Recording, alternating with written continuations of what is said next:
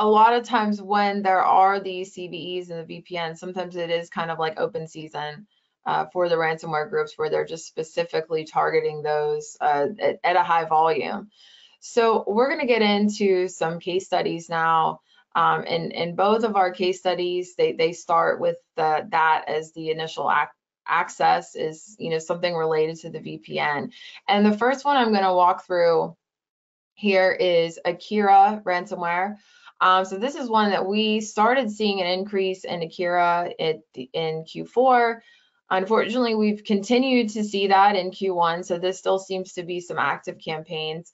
Um, and they do seem to be targeting, uh, you know, VPNs that, that aren't enforcing multi-factor authentication.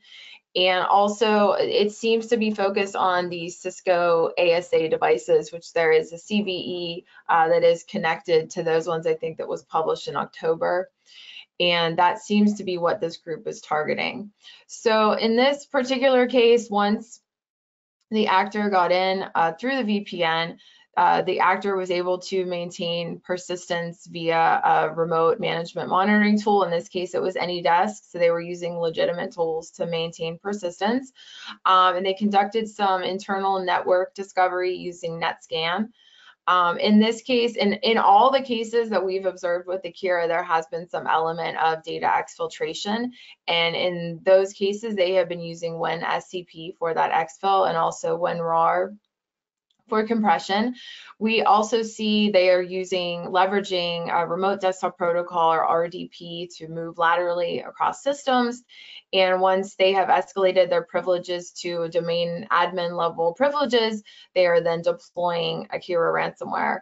And we've seen, as I said, we've seen a lot of cases with Akira and they all seem to follow this similar fact pattern. And we're also following a lot of reporting from other IR companies that are reporting the same activity. And I do believe that CISA actually put out a warning about that this, this week, specifically related to that Cisco ASA uh, vulnerability that I mentioned.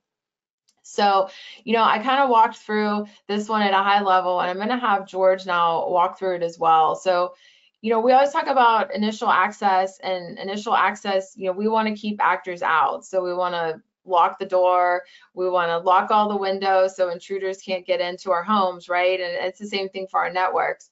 But unfortunately, sometimes in spite of the best security controls, actors still get in.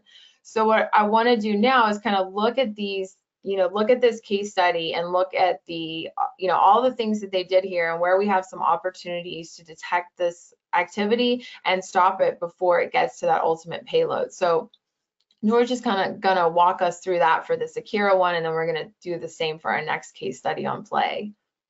Sure, thanks, Laurie. Uh, yeah, defense in depth is is always a, a good strategy, um, especially when it comes to uh, novel or, or, or zero-day vulnerabilities where a detection may be days, weeks, or, or very hard to do.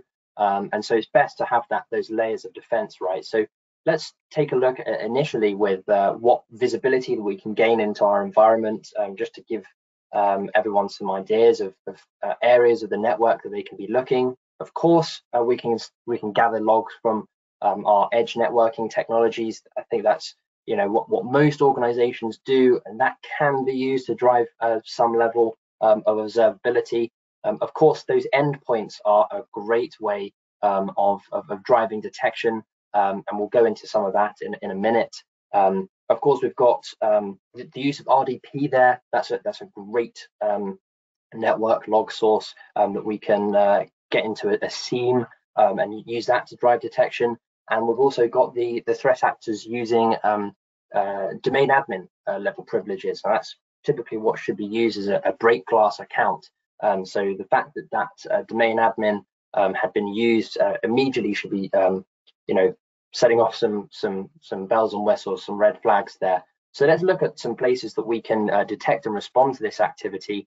Um, what what can we use to drive the detection? Well, of course, we've got our endpoints, endpoint monitoring tools like uh, EDR, next generation antivirus. Um, if you don't use AnyDesk in your environment, for example, immediately that should be triggering alerts. Um, internal network discovery, uh, just the, the, dropping of the NetScan binary, you know, all of those things can um, be alerted on um, with some, uh, you know, pretty high confidence. Um, moving into areas where you know we might be getting a few more alerts and a few false positives. Um, again, uh, the use of RDP, looking at that network traffic, and of course the, the use of domain admin as well. Um, and let's take a look at some of the controls that we can put in place. Uh, again, application um, applications like AnyDesk, totally legitimate application. You may use it in your environment, but if you don't, um, employ application whitelisting. Um, make it so that it's hard for the threat actors to drop that binary onto the endpoint. Similarly, for the use of uh, WinSCP um, and, and WinRAR, um, data exfiltration um, outside of the network as well, um, that can all be tightened up. Um, and if you don't use RDP in your day-to-day -day activities in your organization, um, maybe consider disabling RDP or, or, you know severely limiting the ability for, for uh, normal users to to use it. yeah, just some ideas there. I'll uh, I'll hand back to you, Laurie. Okay, and thanks for that. And we're going to look at another case study here. And, um, you know, it's a, a different ransomware group. So now we have play, but you're going to see a lot of similarities between the two. So a lot of the things that George just mentioned would also apply um, in, in this particular case for detection. Now, in this one, they were leveraging the Citrix bleed vulnerability to get into the network once they were in. Uh, this time they were, you know, conducting internal scoutings. They were using a series of different commands to discover and enumerate uh, accounts on the network. This time they used PowerShell to deploy tools. They were deploying things like Mimikatz to help them obtain credentials for lateral movement. Um, and in this case, instead of using a legitimate tool like AnyDesk for persistence, they actually had a remote access Trojan that they were using. And they were also using uh, defense evasion techniques by clearing logs, stopping backups, and exchange services. Uh, exfiltration occurred the same way as in the last, as did lateral movement via RDP. And then in this one, the ultimate payload was a, a play ransomware payload that was distributed via group policy objects across multiple hosts. So George, I know you already touched on the detection for some of these things, but can you take us through uh, some some different areas uh, that were affected in this case that we might be able to detect for? Sure, absolutely. Um, yeah, let's look at where we can get some some visibility. A lot of this is going to be um, very much the same, um, where we've got uh, you know endpoint devices. Um, so we need to get uh, visibility of of the network, endpoint, um, any of our um, uh, tooling that we may be using, Citrix in this particular case. Um, again, we've got um, RDP as well. Um, if we take a look at what uh, areas uh, we can detect and respond on, um, again, uh, the use of PowerShell, uh, Mimikatz, immediately um, that should be uh, triggering um, an alert. it should be you know, investigated, identified where that, that alert has started, all of that stuff uh, can be driven from really good endpoint detection response tools. Um, the, the use of a remote access Trojan in any way, um, uh, you would hope um, antivirus would be able to step in um, in some of those places. Um, but if not, understanding the, the particular Trojan that's being used, some of the MITRE TTPs that that uh, particular piece of malware has to do to operate effectively um, and detect on those again is a really good um, good idea. Um, and of course, we've got the, the use of RDP as well. Um, and when it comes to controls, again, uh, we're, we're, looking really at um, application allow listing. Um, we're looking at uh, you know the use of RDP here. that's something that uh, you know most organizations probably do use, but in a limited sense, and so can be uh, can be stopped there. And of course, exfiltration of data um, if that's not a control, it can certainly be uh, an alert. If, if uh, large quantities of data are leaving your network um, from somewhere you don't expect, um, then that needs to be investigated. Back over to you, Laurie.